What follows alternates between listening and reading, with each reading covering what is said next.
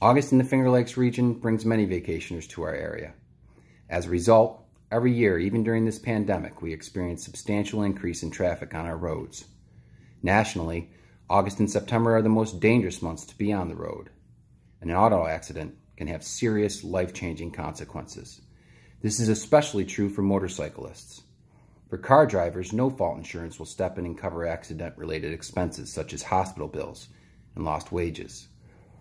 The trade-off is, for car drivers, the New York no-fault law makes it more difficult and in some cases impossible to bring a claim for damages not covered by no-fault insurance. For motorcycle accident victims, the case is extremely different in New York State. This is because a motorcyclist is not a covered person under New York's no-fault law. This can be problematic because motorcycle accident injuries are often more severe. Think about it. Motorcyclists don't have the protections that other operators have. For instance, a motorcyclist is exposed to direct impact between his or her body and the pavement or the other vehicle involved. Motorcycles are not as stable as other vehicles because they have only two wheels. Motorcycles are smaller and lighter than other motor vehicles and are more susceptible to a lighter impact, causing greater damage. And motorcycles lack the visibility of other vehicles because they lack bulk. Because of this, other drivers may not notice or observe motorcycles and fail to yield.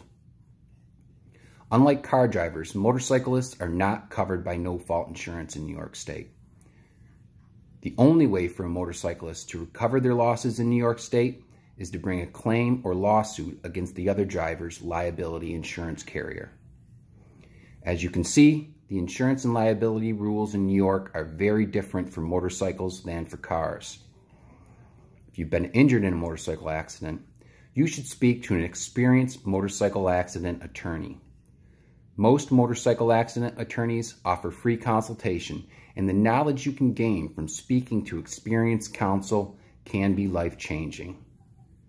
From everyone here at Welch Donlon and Czarples, we wish you a safe conclusion to your summer and we remind you, stay alert so no one gets hurt.